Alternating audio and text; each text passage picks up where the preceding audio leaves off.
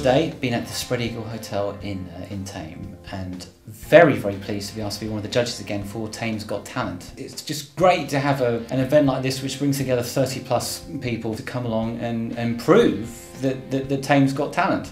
Unfortunately, one of my jobs was then to try and whittle out who who was sort of uh, deemed to be uh, best out of those 30, and it was hard. I've just been playing in Thame's Got Talent and um, I do some singing and songwriting and I thought I'm going to share it with the world. All of these guys here have auditioned to be part of the troupe, The Fix, and we are the best of the best dancers.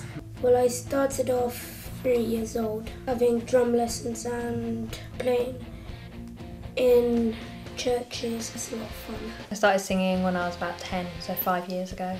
I started when doing singing when I was like, I think about seven. We all went to the same school, um, primary school, um, and I think we just like found each other's talents. I decided to do Thame's Got Talent because I'm a local girl and, and I'm just starting my, um, my solo career, so to speak. I just wanted more experience performing in front of an audience, and it was here. It's um, quite uh, exciting afternoon. It's good fun and I think people who um, are thinking about doing it next year should definitely go for it because it's a really good atmosphere. I think it was really fun and it was a good experience to do as well. So I saw this as an opportunity to meet some new people from other places. It's really good. Uh, it's great to have events like this though where you can meet other people from the town which you wouldn't normally meet and it's great that people uh, get to meet in a gorgeous venue like this and, and you know get a chance to show off a little bit. At the uh, last moment, we were given the most fantastic opportunity of a vocal coach who offered his services free of charge, and he is the Britain's Got Talent vocal coach. If you can go and see the people, somebody like a vocal coach before your performance, uh, if somebody's not had a lot of experience at doing this sort of thing, it can be uh, fantastic. He's trying to teach me how to um, breathe through my diaphragm rather than up here which is something I knew about. But yeah, it was really fun. He's had lots of experience with other people. He was really, really good. I think competitions like this are great for Thame because it's it's all about the community. It's about community spirit. Why was it nice to play Thame's Got Talent? Wow. I, uh, I think it's mainly for charity. This year it's the Florence Nightingale Hospice, which is at Stoke Mandeville Hospital. It raises our profile in Thame and the surrounding area.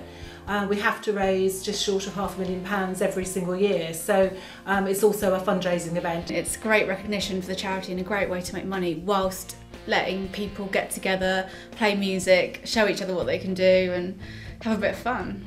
The acts at Thame's Got Talent are amazing, absolutely amazing. We've had um, a really diverse group of people. I didn't expect them to be that good. That's why it's a contest basically, right? See who's best. We got the whole audience standing up. We got the mayor standing up. We got the mayor standing yeah. up. Yeah. Mr. Mayor. I reckon it went alright. Got a little cheer, which was nice.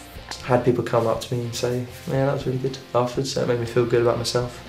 I'm happy that people enjoyed it. Very well, better than last year definitely. I'm more confident this time. After the first couple of lines, I relaxed into it, and the audience were with me, and it and the sound was good, so I enjoyed it. A bit stage fright, but I got. I just carried on.